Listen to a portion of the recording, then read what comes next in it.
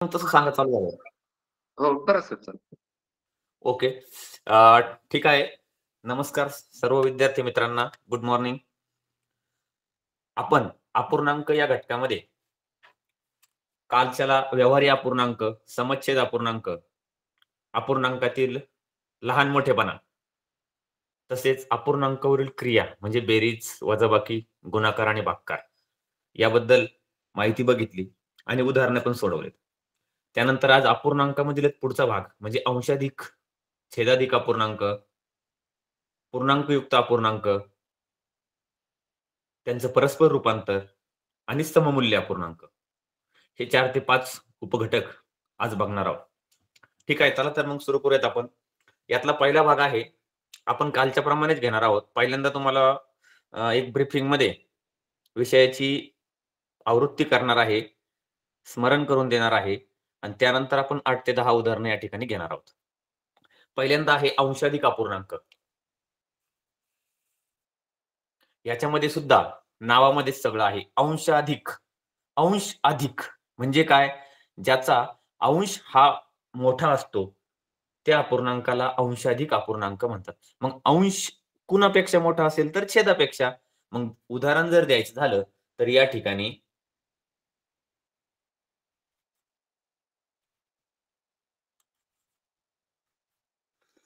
तेवीस अंश छेद सात हा अपूर्णांक मी लिहिलेला आहे. या अपूर्णांकाचा जर अंश आणि छेद याचं आपण निरीक्षण केलं तर आपल्याला काय दिसत आहे की छेद सात आहे आणि अंश मात्र तेवीस आहे. छेदापेक्षा अंश हा मोठा आहे म्हणून या अपूर्णांकाला आपण अंशाधिक अपूर्णांक म्हणू शकतो. आणखी जर काही उदाहरणं द्यायचे म्हटलं तर छोट्यातलं बघितलं तर पाच अंश छेद दोन छेदापेक्षा अंश हा मोठा आहे. आणखी जर मोठं एखादं उदाहरण द्यायचं म्हणलं तर दोन हजार तीनशे सोळा अंश छेद पाचशे शहाण्णव या ठिकाणी अंश हा छेदापेक्षा कितीतरी मोठा आहे म्हणून हा अंशाधिक अपूर्णांक म्हणतो. यानंतर पुढचा भाग छेदाधिक अपूर्णांक. कम्प्लिटली अंशाधिक अपूर्णांकाच्या विरुद्ध स्थिती. छेदाधिक अपूर्णांक. छेद अधिक म्हणजे ज्याचा छेद मोठा आहे त्याला छेदाधिक अपूर्णांक म्हणतात. त्याचा छेद मोठा असावा.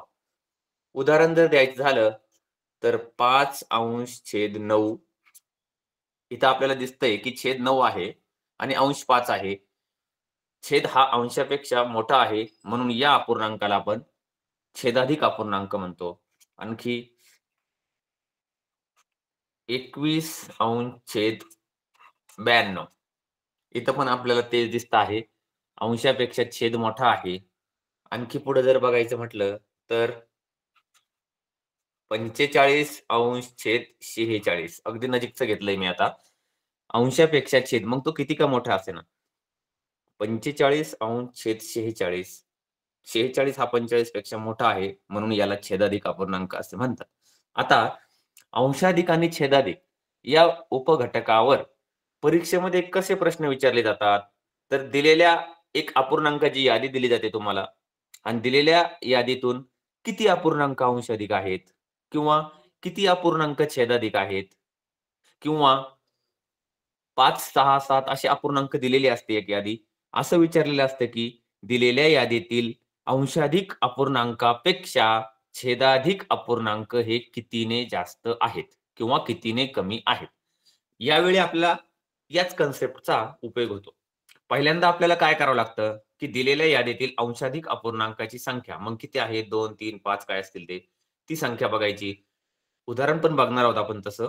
नंतर छेदाधिक अपूर्णांक किती आहेत ते बघायचे आणि मग त्यांच्या संख्येची तुलना करून योग्य ते उत्तर आपण काढायचं असतं. साधारणपणे अंशाधिक आणि छेदाधिकबद्दल अशा प्रकारचे प्रश्न येतात. आणखी एक याबद्दल बोलायचं झालं तर कुठलाही कालच मी सांगितलं होतं तुम्हाला कुठलाही अंशाधिक अपूर्णांक हा छेदाधिक अपूर्णांकापेक्षा कधी पण मोठा असतो. त्यांच्यातल्या तुलनेचा जर विचार केला तर. म्हणजेच अंशाधिक अपूर्णांकाची किंमत ही एकापेक्षा जास्त असते. आता आपण पुढे ज्यावेळेस पूर्णांक आता बघणार आहोत लगेच पाच मिनिटांमध्येच पूर्णांकयुक्त अपूर्णांक. त्यावेळी हा कन्सेप्ट आपल्याला पुन्हा उपयोगी पडणार आहे. तर पुढचं आहे पूर्णांक युक्त अपूर्णांक. याचं सुद्धा बघा नावामध्ये सगळं आहे. पूर्णांक युक्त आणि अपूर्णांक. पूर्णांक आला आणि अपूर्णांक आला. पूर्णांक युक्त अपूर्णांक म्हणजे पूर्णांकासहित असलेला अपूर्णांक. असा अपूर्णांक की ज्याच्यामध्ये पूर्णांक सुद्धा असतो. उदाहरण जर द्यायचं झालं तर आपल्याला इथं खाली लिहिलंय बघा. एका बाजूला चार लिहिलं आहे आणि तीन अंश छेद नऊ तुम्हाला पूर्णपैकी परिचित आहे. जो चार लिहिलेला आहे त्याला काय म्हणतात? पूर्णांक म्हणतात. मग या याला पूर्णांक युक्त अपूर्णांक म्हणतात की ज्याच्यामध्ये पूर्णांक असतो अंश असतो आणि छेदही असतो. मग चार हा पूर्णांक आहे आणि तीन अंश छेद नऊ हा मात्र आपल्याला पूर्वीच परिचित आहे. पूर्वीचाच आहे अपूर्णांकच आहे. त्याचं वाचन पण आपल्याला येतंय. मग ह्याचं पूर्ण जर वाचन करायचं ठरलं तर कसं करता येईल ते? तर चार पूर्णांक तीन अंश छेद नऊ. पुन्हा वाचतो. चार पूर्णांक तीन अंश छेद नऊ. याच्यामध्ये काय दिसतंय आपल्याला? बघा एक पूर्णांक आहे आणि एक अपूर्णांक आहे. याला पूर्णांक युक्त अपूर्णांक म्हणतात. म्हणजेच पूर्णांक आणि अपूर्णांक दोन्हींचाही समावेश याच्यामध्ये होत असतो. यालाच दुसरं नाव आहे बघा एक. बऱ्याच वेळा आपल्याला पर्यायी नाव नसल्यामुळं आपला प्रश्न चुकतो. याला दुसरं नाव आहे मिश्र अपूर्णांक.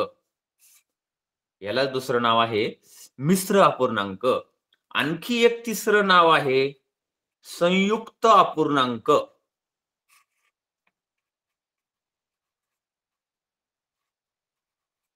संयुक्त अपूर्णांक. आपल्या पाठ्यपुस्तकामध्ये जे आपल्याला शासनाने आता पाचवीचं पाठ्यपुस्तक पुरवलं आहे किंवा जे आपल्याला शिष्यवृत्तीसाठीच शासनाकडून पुरवण्यात आलेली पुस्तिका आहे त्याच्यामध्ये हे नाव असतील किंवा नसतील परंतु इतर जे आपल्याला स्पर्धा परीक्षेसाठी बाजारामध्ये असलेले उपलब्ध जे पाठ्यपुस्तकं आहेत पूरक पुस्तकं आहेत प्रश्नपत्रिका संच आहेत ह्यामध्ये या शब्दांचा वापर केला गेला आहे. म्हणजेच परीक्षेमध्ये सुद्धाही या शब्दांचा वापर केला जाऊ शकतो. आपण हे दोन शब्द नोट डाऊन करून घेऊ शकता. मिश्र अपूर्णांक आणि संयुक्त अपूर्णांक. यालाच पूर्णांक युक्त अपूर्णांक असे म्हणतात. आता बघा उदाहरण जर द्यायचं झालं तर आपल्याला एक ह्याचं उदाहरण देतो फक्त मी की आपल्याला वेगवेगळे शब्द कसे माहीत असावेत? एक दोन ते तीन वर्षापूर्वीच्या एका परीक्षेमध्ये समकोण त्रिकोण हा एक शब्द वापरला गेला होता समकोण त्रिकोण. कुठ जवळपास बऱ्याच विद्यार्थ्यांना बऱ्याच म्हणजे नव्वद टक्के विद्यार्थ्यांना समकोण त्रिकोण हे माहीत नव्हतं. कुठल्याही पाठ्यपुस्तकामध्ये आपल्या समकोण त्रिकोण हा शब्द आलेला नाही. परंतु समकोण त्रिकोण म्हणजेच काटकोण त्रिकोण हे आपल्याला न समजल्यामुळे बऱ्याच विद्यार्थ्यांचा त्या ठिकाणी मार्क्स गेला होता.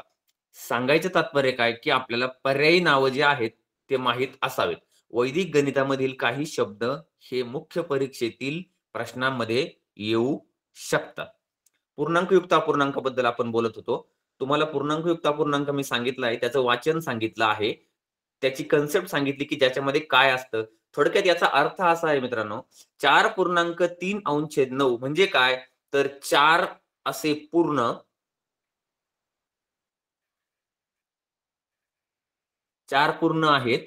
त्यानंतर तीन अंशेद नऊ याचा अर्थ आपल्याला बऱ्यापैकी माहीत आहे. म्हणजे काय? चार पूर्ण आणि आणखी काय करायचं? जो पाचवा आहे हा याचे समान नऊ भाग करायचे. या ठिकाणी मला छोटा असल्यामुळे शक्य होणार नाही करणं. परंतु समान नऊ भाग करायचे आणि त्यापैकी तीन भाग घ्यायचे. बघा पुन्हा सांगतो.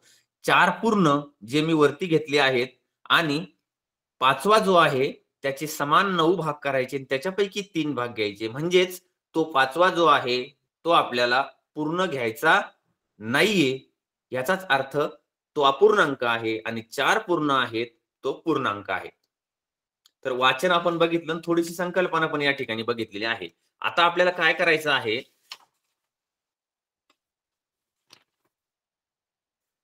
पूर्णांकयुक्त अपूर्णांक आणि अंशाधिक अपूर्णांक यांचं परस्पर रूपांतर करायचंय बघा.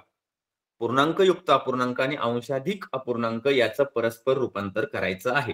आपल्याला परीक्षेमध्ये अशा प्रकारचे डायरेक्टली आपण उदाहरण घेऊ. समजा या ठिकाणी एक आपल्याला दिलेला आहे बघा.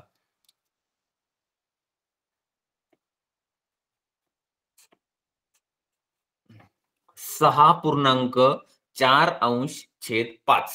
हा एक पूर्णांक युक्त अपूर्णांक आहे. आणि आपल्याला ह्याच्यावर ह्याचं रूपांतर अपूर्णांकात करायचं आहे. म्हणजेच जो काही अपूर्णांक होईल त्याच्या त्याच्यामध्ये करायचं आहे. तर ह्याच्यासाठी आपण काय करायचं आहे? सूत्र वगैरे तर ठीक आहे परंतु आपण एक छोटीशी ट्रिक घ्यायची बघा. अशा प्रकारचे चिन्ह स्वतःच्या डोळ्याला एक चिन्हांची सवय लावायची. कशी लावायची? खाली इथं गुणिले आणि वर इथं अधिक. असं एवढंच एक ध्यानात ठेवायचं फक्त. आपल्याला लगेच उत्तर येऊन जाईल.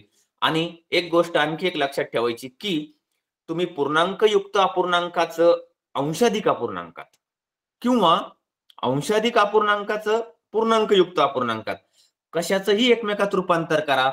छेद हा कायम तोच राहतो. पहिल्यांदा छेद लिहून घ्यायचा.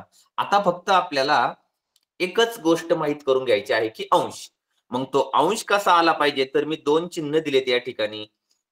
खाली गुणाकाराचं दिलंय आणि वर अधिकचं दिलंय म्हणजेच आपल्या पदवलीच्या नियमाप्रमाणे अगोदर गुणाकार करावा लागतो. मग सहा गुणिले पाच. आणि आलेल्या उत्तरात वरचा अंश मिळवावा लागतो अधिक चार. याला छेद अर्थात किती राहणार आहे? मी सांगितल्याप्रमाणे छेद बदलणारच नाही तो पाचच राहणार आहे. मग आता आपल्या पदावलीच्या नियमाप्रमाणे सोडवा. सहा गुणिले पाच सहा पंचे तीस होतील. आणि त्याच्यामध्ये चार मिळवायचे. अगोदर आपल्याला गुणाकार करावा लागतो कुठल्याही क्रियेत आणि नंतर बेरीज करावं लागते. तीस आणि चार या ठिकाणी चौतीस होतील आणि छेद मात्र तोच राहील. म्हणजेच सहा पूर्णांक चार अंश छेद पाचचं जर आपण रूपांतर करायला गेलो अपूर्णांकामध्ये तर त्याचं रूपांतर होतंय चौतीस अंश छेद पाच. पुन्हा एकदा सांगतो काय करायचं आहे? छेद कायम तोच लिहून घ्यायचा आहे. आणि पूर्णांक आणि छेद यांचा गुणाकार करून त्यामध्ये आपल्याला अंश मिळवायचा आहे. पूर्णांक गुणिले छेद अधिक अंश याच्यापासून आपल्याला नवीन अंश तयार होतो आणि छेद मात्र तोच राहतो. म्हणजे जो तयार झाला चौतीस इथं वरती आपण क्रिया करून दाखवली मी तुम्हाला सहा गुणले पाच. ठीक आहे? आता व्हाईस वारसा. म्हणजे याच्या उलट करायचं. काय करायचं? की जर आपल्याला एखादा अपूर्णांक दिला असेल उदाहरणार्थ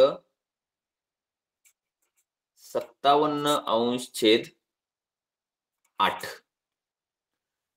असा जर दिला असेल आता ह्याचं रूपांतर हा अपूर्णांक आहे ह्याचं रूपांतर आपल्याला काय करायचं आहे? तर पूर्णांक युक्त अपूर्णांकात करायचं आहे.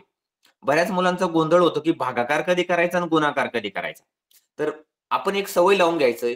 आता मला जर या अपूर्णांकाचं रूपांतर पूर्णांक युक्त अपूर्णांकात करायचं असेल तर मला काय काय गरजेचं आहे बघा? असा एक पूर्णांक गरजेचा आहे. त्यानंतर हा ही मधली रेष राहील.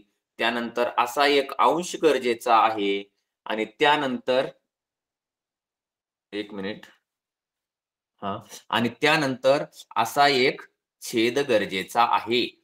एवढं सगळं मिळाल्यानंतर त्याचं रूपांतर माझं पूर्ण होईल. मग कसं मिळवायचं? तर मगाशी मी तुम्हाला सांगितलंय की छेद कायम तोच राहतो. छेदाचा विषय संपला आपण आठ लिहून लगेच टाकूयात. छेद कायम तोच राहतो. आता बघा. आता सत्तावन्न अंश छेद आठचं रूपांतर करायचं. सत्तावन्नला आठाने भागायचं.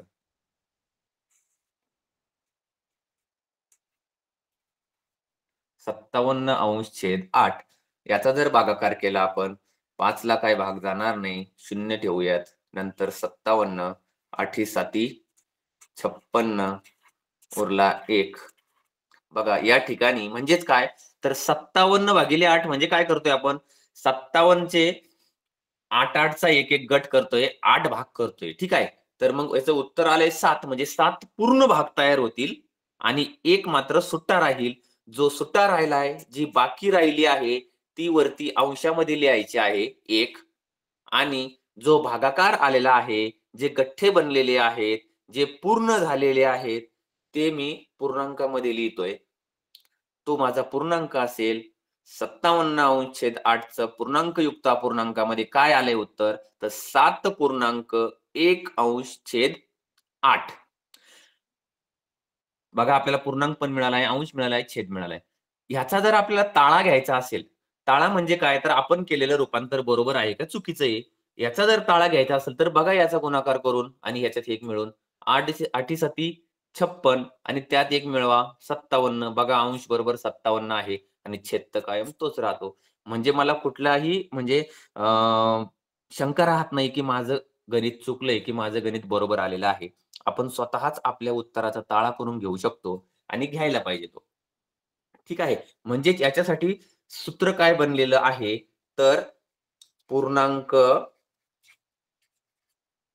गुणिले छेद अधिक अंश. याच्यापासून आपल्याला अंश बनतोय छेद कायम तोच राहतोय. ठीक आहे? या ठिकाणी मला एक गोष्ट आणखी तुम्हाला महत्वाची सांगायची की आपण ज्यावेळी अपूर्णांकाचं रूपांतर पूर्णांकयुक्त अपूर्णांकात करत असतो त्यावेळी ते त्यासाठी तो अपूर्णांक अंशाधिक असावा लागतो. पुन्हा एकदा हे रूपांतर फक्त अंशाधिक अपूर्णांकाच होत. छेदाधिक अपूर्णांकाचं रूपांतर आपण करू शकत नाही. छेदाधिक अपूर्णांकाचं करू शकत नाही. कारण अपूर्णांकाच्या लहान मोठेपणामध्येच आपण बघितलं की कुठलाही छेदाधिक अपूर्णांकाची किंमत ही एक पेक्षा कमी असते. मग तुम्ही मला सांगा मित्रांनो जर त्याची किंमत एक पेक्षा कमी असेल तर त्याच्यामध्ये पूर्णांक होईल का तयार? होऊ शकत नाही पूर्णांक तयार. म्हणजे एकही पूर्णांक होऊ शकत नाही. पर्यायाने तो अपूर्णांकच राहील. म्हणून परस्पर रूपांतर करताना दिलेला अपूर्णांक हा अंशाधिक असावा किंवा तो आहे की नाही याची खात्री आपण करून घेतली पाहिजे. अंशाधिक अपूर्णांक आणि छेदाधिक अपूर्णांक त्यानंतर पूर्णांक युक्त अपूर्णांक आणि आजचा यातील एक खूप महत्त्वाचा घटक आहे जो आहे पुढचा सममूल्य अपूर्णांक. खूप महत्त्वाचा भाग आहे हा सममूल्य अपूर्णांक सममूल्य अपूर्णांक. ह्याच्या पण नावामध्येच आहे बघा सगळं सममूल्य. सम म्हणजे सारखे आणि मूल्य म्हणजे किंमत. सारख्या किमतीचे अपूर्णांक समान किमतीचे अपूर्णांक ज्या अपूर्णांकाची किंमत सारखीच असते त्याला सममूल्य अपूर्णांक असे म्हणतात. उदाहरण द्यायचं झालं तर या ठिकाणी यादीमध्ये मी एक छोटीशी यादी केली आहे चार अपूर्णांकांची. पहिला आहे एक अंशेद दोन दुसरा आहे दोन अंशेद चार तिसरा आहे तीन अंशछेद सहा चौथा आहे चार अंशेद आठ. तुम्हाला समजण्यासाठी संकल्पना स्पष्ट होण्यासाठी मी छोटे अपूर्णांक घेतलेले आहेत. बघा आता दिसायला या फिगर्स जरी वेगवेगळ्या दिसत असतील आपल्याला जर वाटतं कधी कधी चार अंशेद आठ म्हणजे अंक मोठमोठे आहेत म्हणजे हा अपूर्णांक इतर अपूर्णांकापेक्षा दिलेल्या यादीतील इतर अपूर्णांकापेक्षा मोठा आहे. तर मग बघूयात आपण आहे का मोठा? बघा पहिला आहे एक अंशेद दोन म्हणजे काय? एक पूर्ण आणि त्याचे दोन भाग करायचे आहेत. हा झाला एक अंशे दोन. आता दुसरा अपूर्णांक आहे दोन अंशे चार. म्हणजे काय? तर हा एक पूर्ण याचे छेद चार आहे म्हणजे चार भाग करायचे आहेत.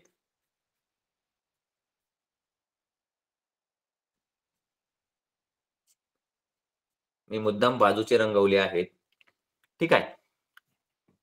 त्यानंतर तिसरा अपूर्णांक आहे तीन अंश छेद सहा. म्हणजे या ठिकाणी मला सहा भाग करायचे आहेत.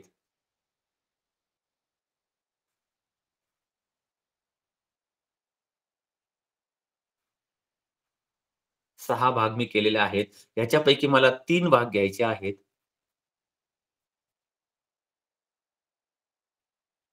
तीन भाग मी घेतलेले आहेत. चौथा अपूर्णांक आहे चार अंशछेद आठ. आता मला या ठिकाणी आठ भाग करायचे आहेत. आठ भाग केलेले आहेत. मी याच्यापैकी चार भाग घ्यायचे आहेत. बघा. चारही अपूर्णांकाचं चित्ररूपामध्ये मी आपल्याला दाखवलेलं आहे. जर निरीक्षण केलं तर अपूर्णांक जरी वेगळे असतील तर हा जर रंगवलेला पोर्शन जो आहे रंगवलेला भाग जर आहे त्याचं जर निरीक्षण केलं तर इथं पण अर्धा रंगवलेला आहे इथं पण अर्धा रंगवलेला आहे इथं पण अर्धा रंगवलेला आहे आणि इथं पण अर्धा रंगवलेला आहे. चारही ठिकाणी तो अर्धा भाग रंगवलेला आहे. जरी त्यांचे अपूर्णांक आपल्याला दिसताना अंक वेगवेगळे दिसत असतील. चार अंशेद आठ तीन अंशेद सहा वगैरे वगैरे. तरीही त्यांची किंमत मात्र सारखीच आहे. त्यांनी दर्शवलेला भाग तो सारखाच आहे. म्हणून त्या सर्व अपूर्णांकाची किंमत ही सारखीच आहे. म्हणून त्यांना सममूल्य अपूर्णांक असे म्हणतात. सममूल्य सारख्या किमतीचे अपूर्णांक. आता हे सारख्या किमतीचे अपूर्णांक जर आपल्याला ओळखायचे असतील तर आपण कसे ओळखायचे? आता हे वरचे चार अपूर्णांक मी तुम्हाला दाखवतो. पहिला होता एक अंश छेद दोन. ह्याच्यामध्ये काहीही बदल करता येत नाही. दुसरा अपूर्णांक आहे दोन अंश छेद चार. ह्याला जर आपण बघितलं तर ह्याला अंशाला आणि छेदाला आपण विशिष्ट संख्येने भाग देऊ शकतो. ती संख्या म्हणजे अतिसंक्षिप्त रूप बोलतो आपण त्याला. मग इथं बे एक बे आणि बे दुने चार. याची किंमत सुद्धा एक अंश दोनच आली. पुढचा पूर्णांक होता तीन अंश सहा. इथं पण तीच परिस्थिती आहे. तीन एक तीन तीन दोने सहा. ह्याची किंमतही एक अंशेद दोनच आली. आणि चार अंश आठ. इथं चार एक चार चार दोने आठ. याची किंमतही तीच आली. आणि ह्याच्या पुढे जाऊन जर असं बघायचं असेल तर दुसरा घ्या एखादा. बारा अंशेद चोवीस. दिसायला जरी वेगवेगळा असला अंक मोठे असले तरी तो मोठा अजिबातच नाही. त्याची किंमत बघा बारा एक बारा बारा दोन चोवीस त्याची किंमतही एक अंश दोन आली. म्हणजे तुम्हाला इंडिकेटिंग फिगर्स म्हणजे दिसणारे जे अंक आहेत ते जरी वेगवेगळे असले तरीही त्या अपूर्णांकाची किंमत तीच आहे सारखी आहे आणि हीच अपूर्णांकाची खरी खासियत आहे किंवा वेगळेपण आहे. ठीक आहे? आता सममूल्य अपूर्णांक कसा मिळवायचा? आपल्याला प्रश्न असे येतात. खालीलपैकी वेगळा अपूर्णांक कोणता? गटात न बसणारा अपूर्णांक कोणता? किंवा दिलेल्या अपूर्णांकाशी सममूल्य अपूर्णांक असणारा कोणता? किंवा दिलेल्या अपूर्णांकाचा छेद पंचेचाळीस केला विशिष्ट संख्या देतात छेदाला. त्या केला असता अंश किती येईल? अशा प्रकारचे प्रश्न सममूल्य अपूर्णांकामध्ये येतात. आता कसा मिळवायचा? तर एखादा अपूर्णांक असेल बघा उदाहरणार्थ पाच अंश छेद सात. हा जर अपूर्णांक असेल तर ह्याचा सममूल्य अपूर्णांक कसा शोधायचा कसा मिळवायचा? तर कुठल्या ह्या अपूर्णांकाच्या अंश आणि छेदाला कुठल्याही संख्येने तुम्ही गुणा शून्य सोडून शून्येतर संख्येने. म्हणजे काय? आदर दॅन झिरो. शून्य सोडून तुम्ही कुठल्याही संख्येने या अपूर्णांकाच्या अंशाला आणि छेदाला गुणा. अट फक्त एकच की अंशाला ज्या संख्येने गुणणार त्याच संख्येने छेदालाही गुणलं पाहिजे. मग अंश पाच आहे. पाचाला जर आपण सहा सहाने गुणले तर छेदाला पण सहानेच गुणावं लागेल. पाच सत्तीस आणि सात साहेब बेचाळीस. तयार झालेला अपूर्णांक होतो तीस अंश छेद बेचाळीस. आणि तो अपूर्णांक हा मूळ जो अपूर्णांक होता आपला पाच अंश छेद सात या अपूर्णांकाशी सममूल्य आहे. अंशाने छेदाला गुण. असा तुम्ही कुठल्याही संख्येने गुणू शकता शून्य वगळता. मग आता प्रश्न असाही येतो की दिलेल्या अपूर्णांकाला सममूल्य अपूर्णांक असे किती आपण शोधू शकतो? तर त्याला अशी मर्यादा नाही. आपण कितीही सममूल्य अपूर्णांक शोधू शकतो. म्हणजेच काय? तर दिलेल्या अपूर्णांकाला अपूर्णांकातील अंश आणि छेदाला दोघांनाही विशिष्ट संख्येने गुणले असता त्या अपूर्णांकाचा सममूल्य अपूर्णांक तयार होतो. आता दुसरा भाग यातला. फक्त गुणूनच होतो का? तर अजिबात नाही. त्याचे भाग केले भागले तरीही सममूल्य अपूर्णांक बनतो. आता जर आपण एखादा उद अपूर्णांक बघितला या ठिकाणी बत्तीस अंश छेद शेहेचाळीस. अपूर्णांक आहे बत्तीस अंश छेद शेहेचाळीस. या ठिकाणी जर बघितलं तर काय दिसतंय मला? अंश बत्तीस आहे छेद शेहेचाळीस आहे. मग मी याला बत्तीसला विशिष्ट संख्येने गुणलं शेहेचाळीसला विशिष्ट संख्येने गुणलं तर मला नवीन अपूर्णांक मिळणार आहे आणि तो त्याचा सममूल्य असणार आहे नो डाऊट पण फक्त गुणूनच नाही तर त्या संख्येला आपण विशिष्ट संख्येने भागले तरीही आपल्याला सममूल्य अपूर्णांक मिळतो. त्यालाच आपण अतिसंक्षिप्त रूप असेही म्हणतो. बघा बत्तीस आणि शेहेचाळीस दोन्ही सम संख्या आहेत. म्हणल्यावर दोघांनाही दोनने भाग जाणार आहे. या ठिकाणी मी आता डाय छोटे भागकार करत बसणार नाही. बत्तीसला आपण सरळ सरळ जर दोनने भागले तर आपले उत्तर येईल सोळा. बघा मी पहिल्यांदा एक अपूर्णांक इकडे लिहितोय परत मूळ अपूर्णांक बत्तीस अंश छेद शेहेचाळीस होता आपला ठीक आहे. बत्तीस ला आपण दोनने भागले तर सोळा आलेत. शेहेचाळीस ला पण अर्थात दोननेच भागावं लागेल आपल्याला. शेहेचाळीस ला जर दोनने भागलं तर उत्तर येत आहे तेवीस. नवीन अपूर्णांक तयार झालाय सोळा अंश छेद तेवीस. साहजिकच मूळ अपूर्णांक होता बत्तीस अंश छेद शेहेचाळीस. तयार झालेला अपूर्णांक आहे सोळा अंश छेद तेवीस. हे दोन अपूर्णांक तुम्हाला जरी वेगळे दिसत असतील तरीही त्यांची किंमत सारखीच आहे. ते सममूल्य अपूर्णांकच आहेत. मला वाटतं सममूल्य अपूर्णांक आपल्या बऱ्यापैकी लक्षात आलं असेल. यानंतर आता आपण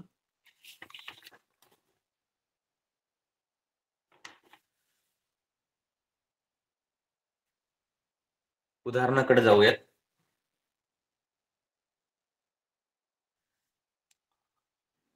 पहिलं उदाहरण आपण बघूयात. पंधरा अंश छेद बारा. पहिलं वरचं उदाहरण बघणार आहोत आपण. पंधरा अंश छेद बारा या अपूर्णांकाच्या छेदात कोणती किमान संख्या मिळवावी? म्हणजे छेदाधिक अपूर्णांक तयार होईल. प्रश्न पुन्हा एकदा वाचतो. प्रश्न फसवा आहे. पंधरा अंश छेद बारा या अपूर्णांकाच्या छेदात कोणती किमान संख्या बनवावी? मिळवावी सॉरी म्हणजे छेदाधिक अपूर्णांक तयार होईल. या ठिकाणी बघितलं आता बघा. तर काय दिसतंय आपल्याला? अंश पंधरा आहे आणि छेद बारा आहे. म्हणजेच हा अंशाधिक अपूर्णांक आहे. आणि आपल्याला काय बनवायचे त्याला? छेदाधिक.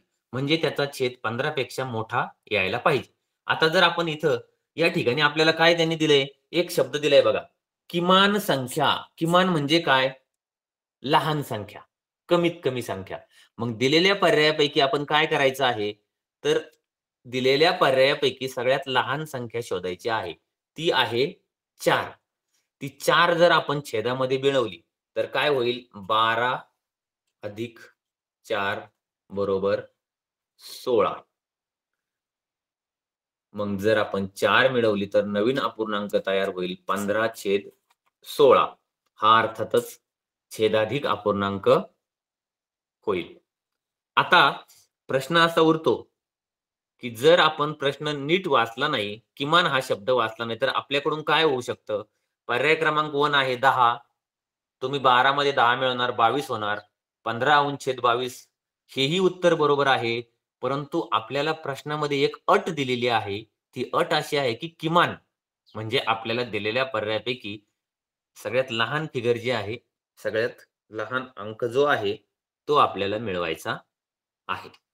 म्हणजे दिलेल्या प्रश्नामध्ये आपण लहान अंक चार आहे आणि तो जर मिळवला तर आपल्याला बरोबर छेदाधिक अपूर्णांक मिळतो आहे. म्हणून या प्रश्नाचं उत्तर आहे पर्याय क्रमांक तीन. ठीक आहे. त्यानंतर आपण पुढच्या प्रश्नाकडे जातो आहे. एकशे वीस एकशे वीस अंश छेद सतरा. हा अपूर्णांक पूर्णांकयुक्त अपूर्णांकात कसा लिहावा?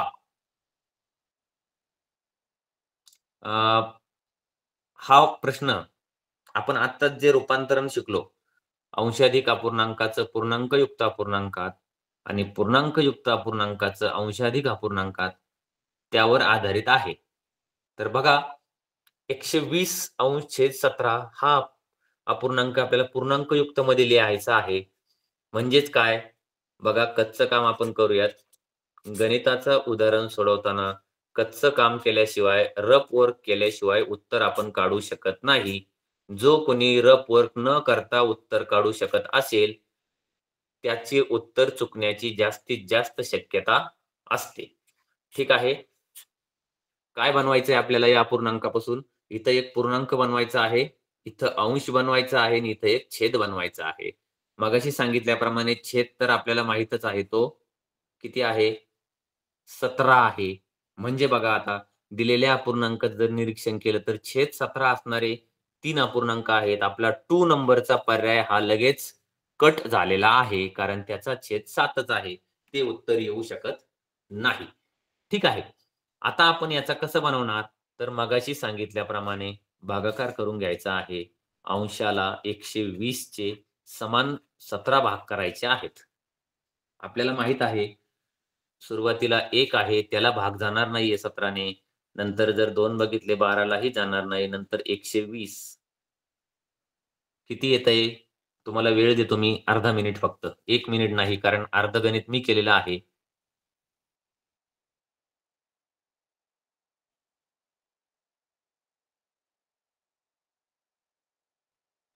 किती येत आहे बापकर सर कमेंट बॉक्स चालू केला तरी चालेल. ओके.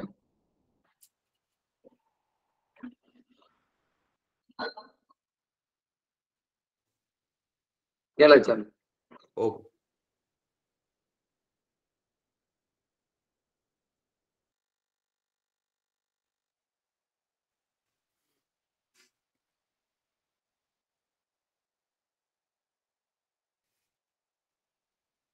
अर्धा मिनिट आपला संपलेला आहे.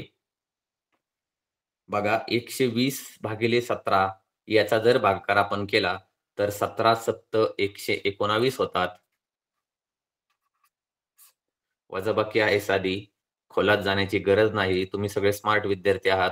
एक बाकी उरते आहे. बघा भागाकार आलेला आहे सात.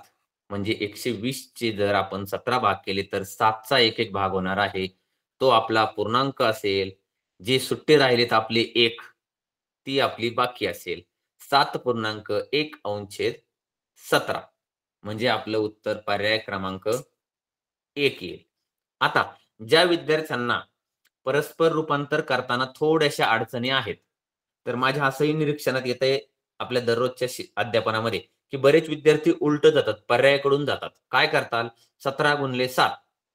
सतरा सत्तर एकशे एकोणावीस अधिक एक एकशे वीस मग उत्तर लिहितात. परंतु प्रत्येक वेळी पर्यायाकडून जर गेलं तर त्याचा तोटा असा असतो की आपल्याला परीक्षेसाठी वेळेचं मॅनेजमेंट जमत नाही. प्रत्येक वेळी पहिलाच पर्याय उत्तर असेल असं सांगता येत नाही. मग कधी कधी जर चौथा पर्याय उत्तर असेल तर पहिला दुसरा तिसरा तीन पर्यायासाठी आपले तीन ते चार मिनिट वाया जातात आणि परिणामी शेवटी आपल्याला पंच्याहत्तराव्या प्रश्नापर्यंत जाताना जे प्रश्न सोपे आहेत ते प्रश्न पण सोडवायचे राहून जातात. हा तोटा आपण सहन करू शकत नाही. एका प्रश्नासाठी दोन तीन प्रश्नाचा तोटा सहन करणं आपल्याला व्यवहार्य नाही म्हणून शक्यतो पर्यायाकडून जाण्याचं टाळावं. ज्यावेळी आपल्याला अगदीच उत्तर शक्य नसेल किंवा रीत कळत नसेल उदाहरणाची त्यावेळी हरकत नाही. परंतु शक्य तेवढा आपण पर्याय टाळू पर्यायाकडून उत्तराकडे जाणे टाळावं. ठीक आहे. त्यानंतर खाली उदाहरण आहे बघा एक. पाच अंश छेद बारा बरोबर चाळीस अंश छेद खाली चौकट दिलेली आहे. आता तर त्या चौकटीमध्ये आपल्याला किती अंक लिहायचा आहे ते शोधायचं आहे. अर्थातच हा प्रश्न आपण निरीक्षण केलं तर आपल्याला लक्षात येत आहे बघा पाच अंश छेद बारा बरोबर चाळीस अंश छेद चौकट. दिलेलं काय आहे? दोघांचं जे माहीत आहे त्याचा विचार करायचा. दोघांचं काय माहीत आहे आपल्याला? अंश आणि अंश. दोघांचाही अंश माहीत आहे आपल्याला. मग दोघांचे जर अंश माहीत असतील तर त्यांची तुलना करायची आहे पाच आणि चाळीस. काय संबंध वाटतो? पाचापेक्षा चाळीस मोठा आहे. म्हणजे पाच ला कशाने तरी गुणून चाळीस येणार आहे. तर आपले पाढे पाठांतर असणं गरजेचं आहे. निदान निदान पंधरा पर्यंत असणं गरजेचं आहे. पाचशे आठे चाळीस जर पाचला आपण अंशाला जर आपण गुणिले आठ केले तर आपल्याला नवीन अंश मिळतो आहे. मग आपल्याला अर्थातच छेदाला सुद्धा आठ ने गुणावं लागेल. बारा गुणिले आठ. मग त्याचं उत्तर येईल शहाण्णव. अंशाला ज्या संख्येने गुणलं त्याच संख्येने छेदालाही गुणायचं आहे. उत्तर येईल शहाण्णव. चाळीस अंश छेद शहाण्णव. दिलेल्या पर्यायापैकी पर्याय हा चौथा आहे म्हणून आपल्याला या प्रश्नाचं उत्तर आहे. चाळीस अंश छेद शहाण्णव. काय केलंय आपण? सममूल्य अपूर्णांक या घटकावर आधारित हा प्रश्न आहे. याच्यात आणखी कसे प्रश्न प्रकार येऊ शकतात? तर आपल्याला या ठिकाणी अंश दिलाय. कधी कधी आपल्याला छेद देतील आणि अंश विचारतील. कधी कधी पुढचा अपूर्णांक देतील मागचा अपूर्णांक विचारतील. कधी कधी मोठा देतील म्हणजे फिगर मोठ्या फक्त आणि छोटा विचारतील. तर आपण हे लक्षात घेणं गरजेचं आहे की आपल्याला करायचंय काय नेमकं? जर शोधायच्या अपूर्णांकामध्ये मोठ्या अंक असतील तर आपल्याला गुणावं लागेल. शोधायच्या अपूर्णांकामध्ये छोटे अंक असतील तर आपल्याला भागावं लागेल. म्हणजे अतिसंक्षिप्त रूप देण्याचा पर्याय स्वीकारावा लागेल. हे आपण लक्षात घेतलं पाहिजे या ठिकाणी. त्यानंतर या ठिकाणी पुढचा प्रश्न आहे एकोणतीस अंश छेद आठ. एकोणतीस अंश छेद आठ हा अपूर्णांक पुढील पैकी कोणत्या अपूर्णांकाचा सममूल्य नाही? दोन हजार सतराच्या परीक्षेमध्ये विचारलेला प्रश्न आहे हा. एकोणतीस अंश छेद आठ हा अपूर्णांक पुढील पैकी कोणत्या अपूर्णांकाचा सममूल्य नाही. मग आता या ठिकाणी काय करावं लागेल? दिलेल्या पर्यायामधून तीन अपूर्णांक असे असणार आहेत की ते त्याच्याशी सममूल्य असणार आहेत. आणि एक मात्र असणार नाही. मग आता हा थोडासा सोपा प्रश्न आहे परंतु वेळ खाऊ अशा प्रकारचा प्रश्न आहे. या ठिकाणी आपल्याला सर्व पर्यायांची चाचपणी करावी लागेल. सर्व पर्याय जर आपण चाचपले तरच या प्रश्नाचं उत्तर निघाव निघू शकतं. बघूयात आता. एकोणतीस अंश आठ हे आपला प्रश्नातील अपूर्णांक आहे. पहिल्या पर्यायाकडे जाऊयात. तीन पूर्णांक पाच अंश आठ. इथं आपल्याला याचं रूपांतर करावं लागेल. दिसतंय काय? तर दिलेला अपूर्णांक आहे आणि खालचा पूर्णांक युक्त अपूर्णांक आहे. याला आपण गुणूयात आणि याचं रूपांतर करूयात. आठ त्रिक चोवीस. चोवीस अधिक पाच एकोणतीस होतील. याचं उत्तर येतं एकोणतीस आणि छेद तर तोच राहील. म्हणजे ह्याचा मात्र आहे. एकोणतीस अंशेद आठचा सममूल्य आहे. आपल्याला जो नाही तो शोधायचा आहे. अशा प्रश्नामध्ये बघा शेवटचा जो शब्द आहे ना नाही हा खूप धोकादायक शब्द असतो. स्पर्धा परीक्षेत शिष्यवृत्ती परीक्षेत प्रश्नाचा शेवटचा शब्द खूप धोकादायक असतो. मी कायम माझ्या विद्यार्थ्यांना सांगत असतो. कारण शेवटच्या शब्दामध्येच सगळं उत्तर दडलेलं असतं.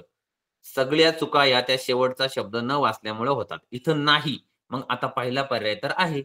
त्यानंतर पुढच्या पर्यायाकडे जाऊया. आपण अठ्ठावन्न अंशेद सोळा हा याचं स्वरूप काय आहे? तर हा अपूर्णांकच आहे. याला आपण अतिसंक्षिप्त रूप देऊन बघूयात. अठ्ठावन्न अंशेद सोळा दोनने भागूयात. बे आठी सोळा आणि अठ्ठावन्न जर दोनने भागलं तर एकोणतीस येतात. याचाही अतिसंक्षिप्त रूप जर दिलं तर एकोणतीस अंशेद आठच येतात. म्हणजेच आपल्या प्रश्नातलाच अपूर्णांक मिळतोय. म्हणजे हा सुद्धा याचा सममूल्य आहे. तिसऱ्या पर्यायाकडे जाऊयात आपण. तीन पूर्णांक सहा अंश छेद आठ. त्याचं स्वरूप पूर्णांक युक्त अपूर्णांक आहे. त्याचं आपल्याला रूपांतर करावं लागेल. मग तीन गुणले आठ. आठ त्रिक चोवीस आणि त्याच्यामध्ये अंश मिळून चोवीस अधिक सहा तीस होतील. त्याचं रूपांतर येत आहे तीस अंश छेद आठ. आपल्याला दिलेला अपूर्णांक आहे एकोणतीस अंश छेद आठ. हा मात्र त्याच्याशी मिळता जुळता म्हणजे त्याच्या सममूल्य नाही तो तर अजिबातच नाही. म्हणून आपल्याला तसाच शोधायचा आहे जो नाही तो हे उत्तर आपलं येतय. आणि मी त्याच वेळेस लगेच पुढच्या पर्यायाकडे बघितलं पाहिजे. पुढचा पर्याय काय आहे? तर दोनशे नव्वद अंश छेद आठ. मला तात्पुरत्या स्वरूपात हे उत्तर दिसतंय. परंतु माझं उत्तर मी चारही पर्याय वापरल्याशिवाय फायनल करायचं नसतं. आता चौथा पर्याय काय आहे? एकच अपूर्णांक दिलेला आहे.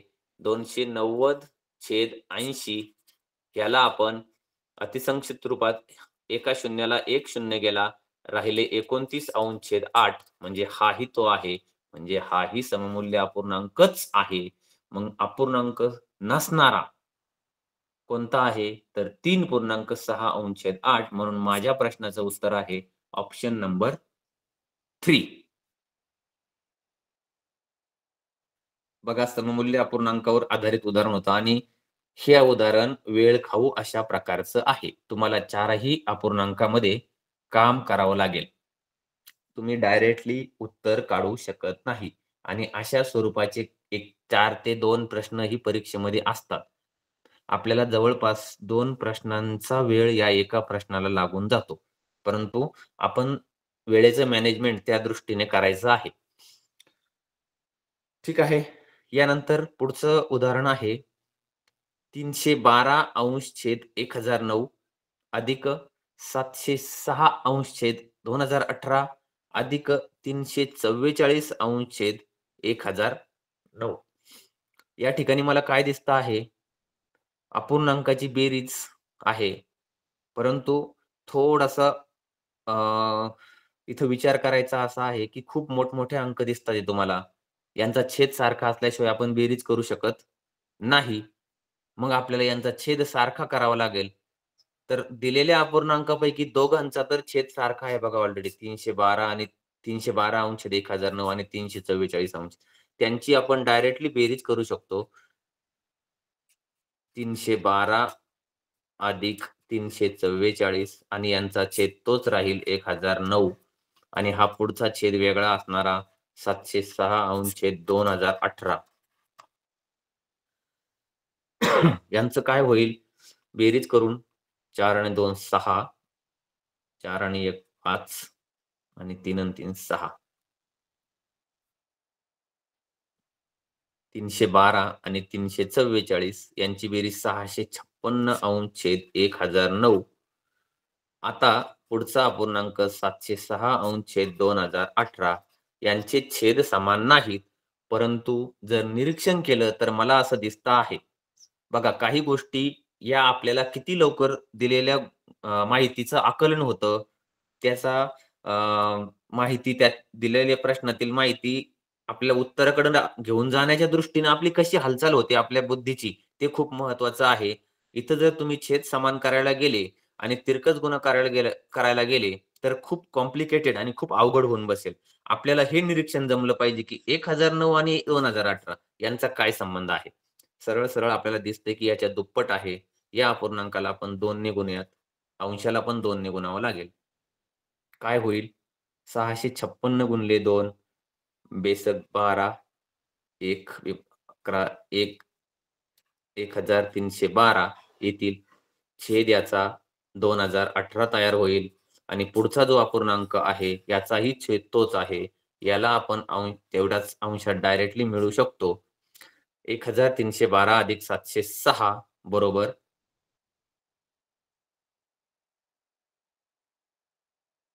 छेद दोन हजार अठरा. आता यांची बेरीज जर केली तर सहा अधिक दोन आठ होतील. एक सतन तीन दहा एक एक दोन. दोन हजार अठरा छेद दोन हजार अठरा. बघा दोन हजार अठरा छेद दोन हजार अठरा याचं उत्तर कोणतं येतं आहे आपल्याला? तर पर्याय क्रमांक चार. हा प्रश्न आता एका परीक्षेत आलेला आहे. परंतु यावर आणखी उपप्रश्न कॉर्नर असाही येऊ शकतो बघा. काय?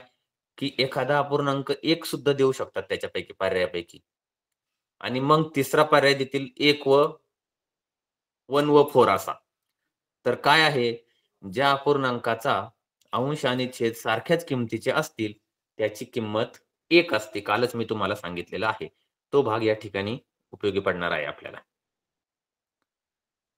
त्यानंतर पुढचं एक उदाहरण आहे पट. पटावर आधारित आहे म्हणजे पंचेचाळीस ची एक अंशेद पाच पट म्हणजे किती? पंचेचाळीस ची एक अंशेद पाच पट म्हणजे किती? मी तुम्हाला जाणीवपूर्वक एक ट्रिक सांगतो ज्यावेळी अपूर्णांकामध्ये ची चा चे अशा प्रकारचे शब्द येतात तेव्हा त्या ठिकाणी गुणाकाराचं चिन्ह वापरायचं. पंचेचाळीस ची हे पंचेचाळीस आणि ची म्हटलंय म्हणजे तिथं गुणिले द्यायचं. आणि एक अंशेत पाच पट. जितकी पट असेल त्याने गुणायचं. आणि सरळ सरळ ही क्रिया फक्त करून घ्यायची. ची म्हटल्यानंतर त्याच्याऐवजी मी गुन्हाकाराचं चिन्ह वापरलेलं आहे. आणि करा. जर सूक्ष्म निरीक्षण केलं तर हा आपल्याला अपूर्णांकाचा गुणाकार दिसेल. याचं उत्तर येतंय पंचेचाळीस अंशेत पाच. काही माझे विद्यार्थी म्हणतील की इथं तर तो पर्यायच नाही आहे. अपूर्णांकामध्ये असे बऱ्याच वेळा घडते आपले. की आपलं उत्तर येतं परंतु पर्यायात नसतं. घाबरून जायचं नाही. आपल्याला सममूल्य अपूर्णांकाचा कन्सेप्ट सममूल्य अपूर्णांकाची संकल्पना या ठिकाणी आठवावी लागते. मग पंचेचाळीस अंशेत पाच जर उत्तर नाही तर मग मी काय पंचेचाळीस लिहिलं पाहिजे का? मिळतं जुळतं अजिबात नाही. मला अतिसंक्षिप्त रूप येतंय.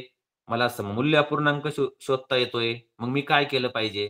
तर ह्याचा सममूल्य अपूर्णांक शोधला पाहिजे. पाच एक पाच. पाच नऊ पंचेचाळीस. नऊ अंश छेद एक म्हणजेच नऊ. याचा पर्याय क्रमांक तीन हे उत्तर आहे. बघा पटीबद्दल आपण एक उदाहरण घेतलेलं आहे. सर्रास विचारला जाणारा भाग आहे हा प्रत्येक परीक्षेमध्ये पटीबद्दल म्हणजे दुप्पट पाच पट सात अंश छेद चार पट दोन अंश छेद नऊ पट पटीमध्ये उदाहरणं विचारले जातात.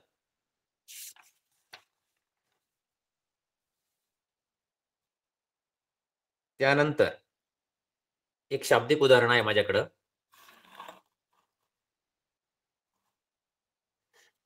राधिकाने काल एका पुस्तकाचा तीन अंश छेद आठ भाग वाचला व आज एक अंश छेद तीन भाग वाचला. जर एकूण पाने एकशे वीस असतील तर किती पाने वाचण्याची बाकी राहिली?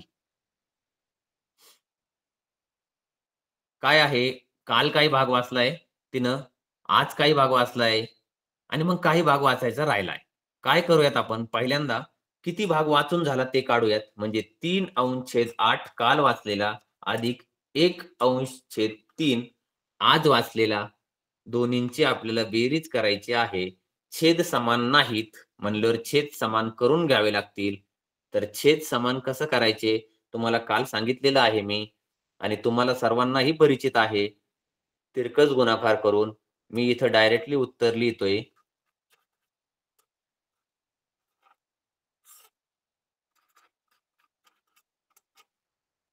म्हणजेच सतरा अंश छेद चोवीस भाग तिचा वाचून झालेला आहे. काल आणि आज मिळून. मग आणखी भाग किती राहिलाय तिचा वाचायचा? म्हणजेच काय? या ठिकाणी आपण थोडासा अपूर्णांकाच्या अर्थाकडे यायचा आहे. म्हणजे असं एखादं पुस्तक आहे की ज्याचे चोवीस जर भाग केलेत तर सतरा भाग वाचून झालेले आहेत. बघा चोवीस भाग केलेत. चोवीस पानं नाहीयेत बरं का पुस्तकाचे. चोवीस भाग केले आहेत आणि त्याच्यापैकी सतरा भाग वाचून झालेले आहेत. बरोबर? मग राहिलेत किती भाग? तर आपल्याला दिलेलं काय आहे? खूप फसवा प्रश्न आहे हा. आपल्याला दिलेलं काय आहे? एकशे वीस पानं दिलेले आहेत. आणि विचारलेलं काय आहे? पाने वाचायची किती बाकी राहिली? मग चोवीस भागापैकी जर सतरा भाग वाचायचे राहिलेत वाचून झालेत सॉरी तर राहिलेत किती? तर चोवीस मधनं जर सतरा गेले तर सात अंश चोवीस इतका भाग वाचायचा राहिलेला आहे. किती राहिलेला आहे? सात अंशे चोवीस. परंतु खरी फसवेगिरी याच ठिकाणी आहे. तुम्हाला विचारलंय काय? पाने वाचायची किती राहिली? किती भाग वाचायचा राहिला हे विचारलेलं नाही.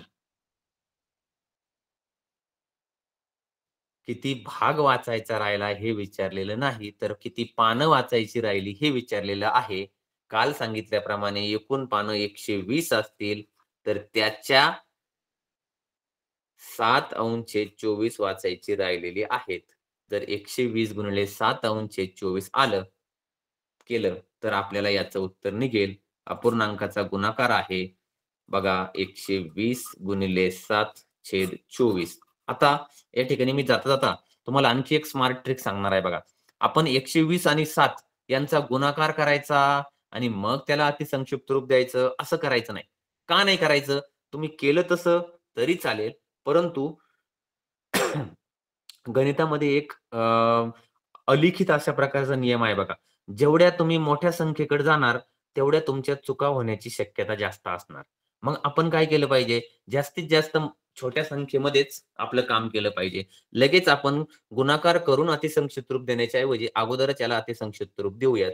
एकशे वीस आणि चोवीस यांचं निरीक्षण केलं तर मला दिसतं इथं मी भागाकार करू शकतो. चोवीसला सहाने भाग जातोय सहावीस चोक चोवीस आणि एकशे वीसला पण सहाने भाग जर दिला तर वीस उत्तर येत आहे.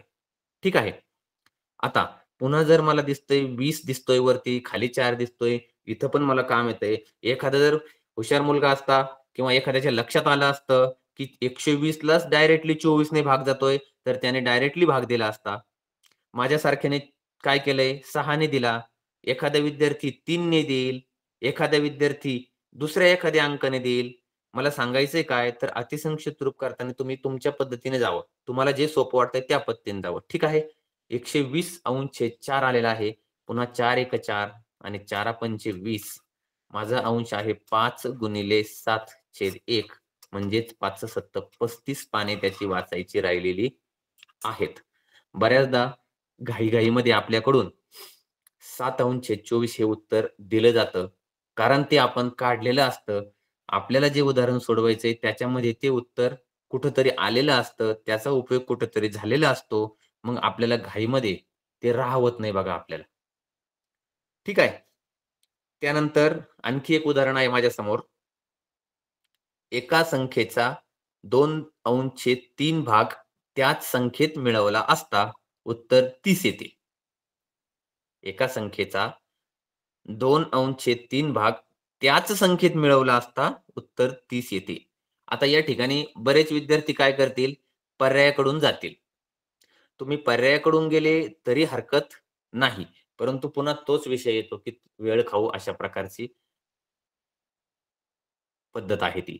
मग आपण काय केलं पाहिजे? या ठिकाणी आपण एक्स मानूनही करू शकतो. एक संख्या जर आपण ती म मानली किंवा एक्स मानली बघा तर काय होईल? एक संख्येचा दोन अंश तीन भाग म्हणजे हा एक्स आणि हिचा दोन अंश तीन भाग चा म्हणजे गुणिले त्याच संख्येत मिळवला अधिक ती संख्या कोणती आहे? तर एक्स आहे. आणि किती येतंय उत्तर? तर तीस येते बघा ज्या विद्यार्थ्यांना राज्य गुणवत्ता यादीत जिल्हा गुणवत्ता यादीत यायचं आहे नवोदयसाठी तयारी करत आहेत त्या विद्यार्थ्यांना अशा प्रकारे बराचसा भाग असा काही आहे की जो पाठ्यपुस्तकात नसतो परंतु आपल्याला येणं आवश्यक असतं. कारण तुम्हाला त्या गुणवत्ता यादीत निवड करून घ्यायची आहे स्वतःची म्हटल्यानंतर तुम्हाला इतरांपेक्षा काहीतरी वेगळं करावं लागणार आहे. मग आपण एक्स मानून हे केलेलं आहे. इथं उत्तर येईल एक्स गुणले दोन दोन एक्स छेद तीन अधिक एक्स बरोबर तीस. ह्याचं पुन्हा आपण जर अपूर्णांकाची बेरीज केली छेद सारखे केले तर काय होईल?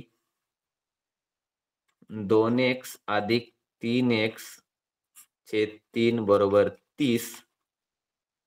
हा तीन इकडं घेऊन जाऊयात. वरची बेरीज होईल पाच एक्स बरोबर नव्वद.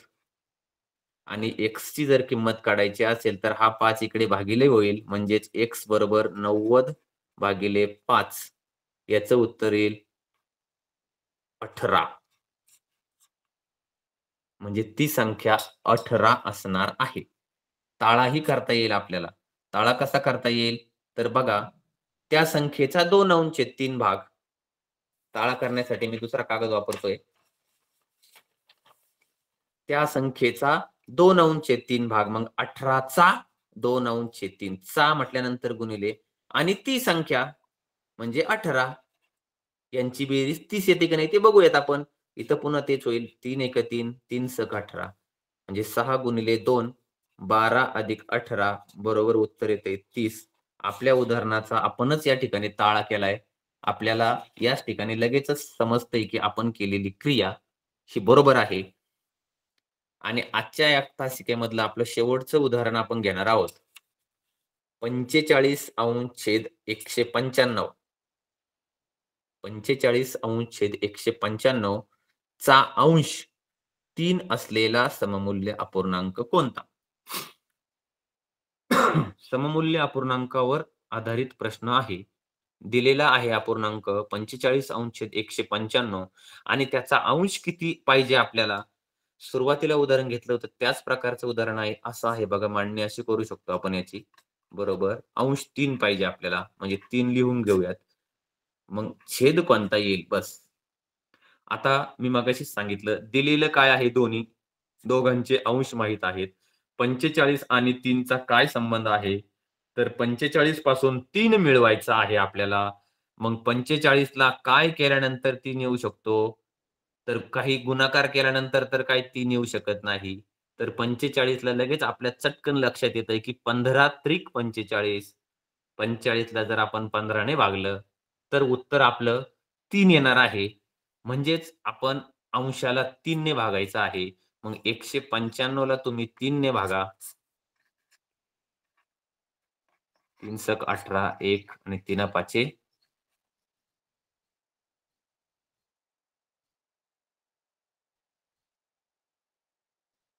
सॉरी पंधराने भागायचे सॉरी तीनने नाही तर पंधराने भागायचं आहे. एकशे पंच्याण्णव ला आपण पंधराने भागायचं आहे. पंधरा एक पंधरा चार उरतील आणि पंचेचाळीस. पुन्हा याच येईल. पंधरा त्रिक पंचेचाळीस.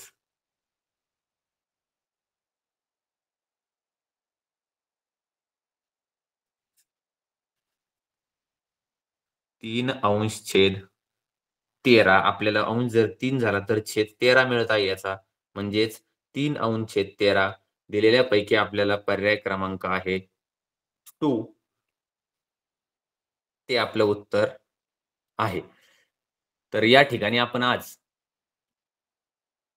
अपूर्णांक पूर्णांकयुक्त अपूर्णांक त्याच्यावरील काही शाब्दिक उदाहरणं सममूल्य अपूर्णांक या गोष्टी बघितलेल्या आहेत. उद्याची आपली अपूर्णांकावरील शेवटची तासिका आहे. तिच्यामध्ये आपल्याला दशांश अपूर्णांक बघायचे आहेत. डेसिबल पॉइंट्स आपल्याला आकडेमोड करताना डेसिबल पॉइंटचा खूप महत्त्वाचा उपयोग होतो. आपण पॉइंट कसा फिरवायचा दशांश चिन्ह कसे सरकवायचे कुठली गणिती क्रिया न करता कसे सरकवायचे दशांश चिन्ह हे आपण उद्याच्या तासिकेमध्ये या ठिकाणी बघणार आहोत. तसंच